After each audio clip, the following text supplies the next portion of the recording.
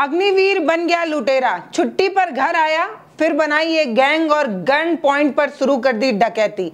आखिर कौन है ये अग्निवीर और क्यों बन गया लुटेरा? हम आपको सब बताएँगे, लेकिन उससे पहले नमस्ते, मैं पल्लवी हूँ और आप भारत एक नई सोच देख रहे हैं।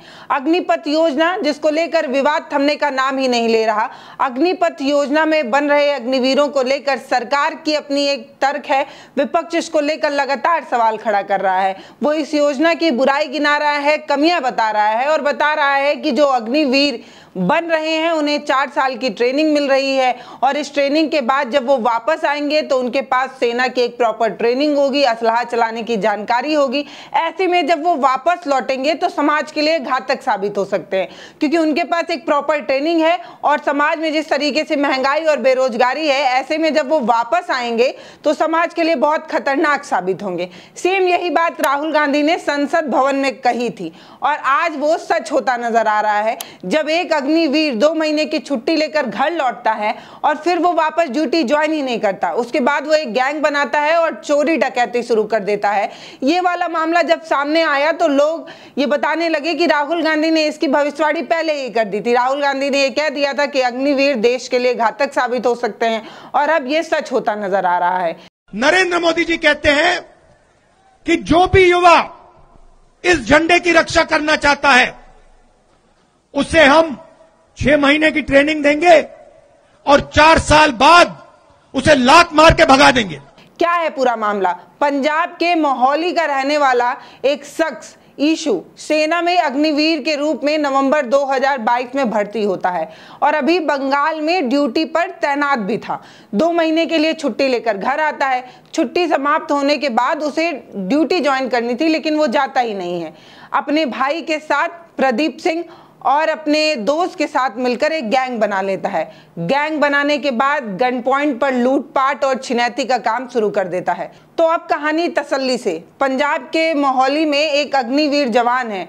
लूटपाट के आरोप में गिरफ़्तार हुआ है।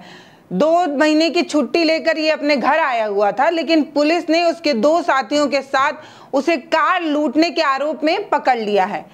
उनका ये कहना है कि ये लोग जो है, वो यूपी से हथियार खरीद कर मोहाली में लूटपाट को अंजाम दे रहे थे। लूटपाट जैसी घटना को अंजाम दे रहे थे। हाल ही में इन्होंने गन पॉइंट पर एक कार लूटी है। इस तरीके की बात पुलिस कर रही है। अगर हम हिंदुस्तान टाइम की रिपोर्ट की बात करें तो हिंदुस्तान टाइम की रिपोर्ट के मुताबिक मोहाली पुलिस ने 24 जुलाई को छप्पर चीरी के पास एक कार छिनौतों को गिरफ़्तार किया। कुल तीन लोगों को गिरफ़्तार किया गया।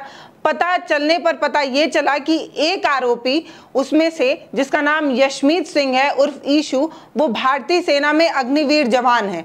वो साल 2022 में सेना में भर्ती हुआ था और अब वो गिरोह बना चुका है अपने भाई और अपने दोस्त के साथ। भाई और दोस्त के साथ जो उसने गिरोह बनाई है, उस गिरोह का काम ही यही है कि वो लगातार इस तरीके की घटनाओं को अंजाम देते हैं। भाई परमप्रीत सिंह और दोस्त के साथ मिलकर इस तरीके की घटना को अंजाम देते हैं। दोस्त बलकरण जो है, वो एक टैक्सी सर्विस का काम किया करते थे, लेकिन अब वो काम छोड़ चुके हैं। तीनों लोग मिलकर इस तरीके की घटना को अंजाम देते हैं।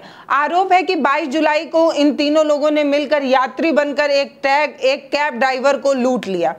ये तीनों जिनकी उम्र 18 से 22 साल के बीच की है, ये तीनों जो है वो एक साथ एक एक जगह रहते हैं। इनकी पढ़ाई लिखाई के बारे में बात की जाए तो बारहवीं तक इन्होंने पढ़ाई की है।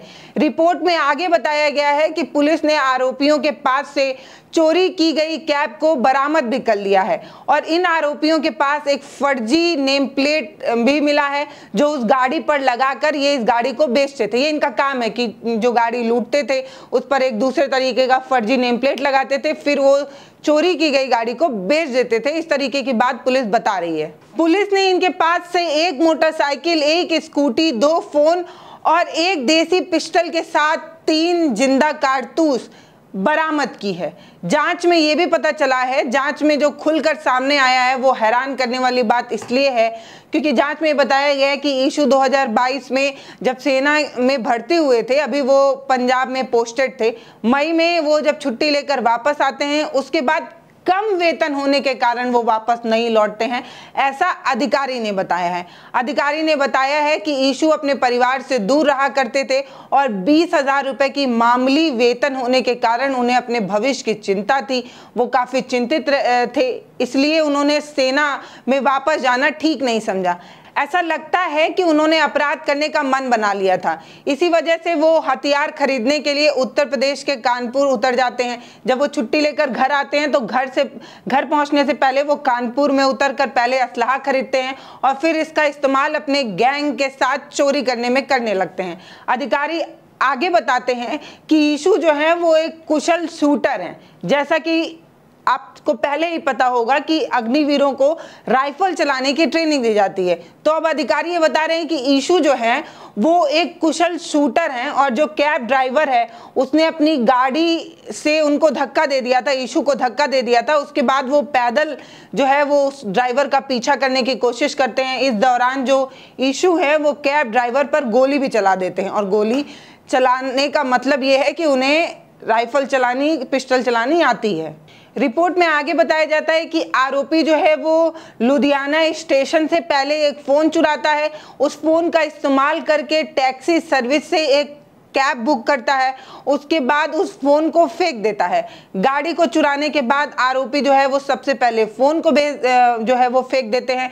उसके बाद जो कार होती है, चोरी की गई कार, उसको एक सुनसान सड़क पर पार्क कर देते हैं। इसके बाद आरोपी जो है, वो अपने घर वापस लौट जाते हैं और दोबारा जब वो वापस उस कार के पास पहुँचते हैं तब पुलिस उनको ट्रैक कर लेती है और पकड़ लेती है। ऐसे पकड़ा गया अग्निवीर चोरी करते वक्त। तो जैसा कि आपको पता है कि जो अपराध किए हैं, उनमें से एक अपराधी जो है, वो अग्निवीर है। अग्निवीर में शामिल होने की वजह से मोहाली के जो वरिष्ठ पुलिस अधीक्षक एसएसपी संदीप गर्ग हैं, उन्होंने सेना को पत्र लिखकर यशमीत सिंह की पूरी कहानी, पूरी सूचना जो है, वो दे दी है। क्योंकि आप सभी को पता है कि जब कोई जवान होता है, उससे कोई कोई गलती हो जाती है, कोई लॉ टूट जाता है तो ऐसे में कोई भी कार्रवाई करने से पहले पुलिस जो है वो सेना को उसकी सूचना देती है, क्योंकि वो जो नागरिक है, वो सेना का एक अंग है, आर्मी का एक अंग है, इसीलिए एसएसपी साहब ने सेना को पत्र लिखकर सारी सूचना दे दी है। तीनों आरोपियों के खिलाफ भारतीय न्याय संहिता की धारा 307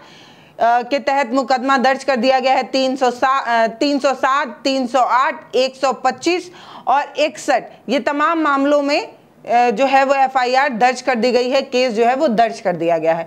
बाकी अग्निवीर योजना में जो योद्धा तैयार हो रहे हैं, जो वीर तैयार हो रहे हैं, वो जब तक तो सेना में है, तब तक तो उनके पास एक थोड़ी मानदेय है, बीस हज़ार रुपए तक की वेतन उनके पास है, लेकिन जब वो रिटायर हो जाएँगे, उसके बाद उनको पेंशन की कोई सुविधा नहीं है।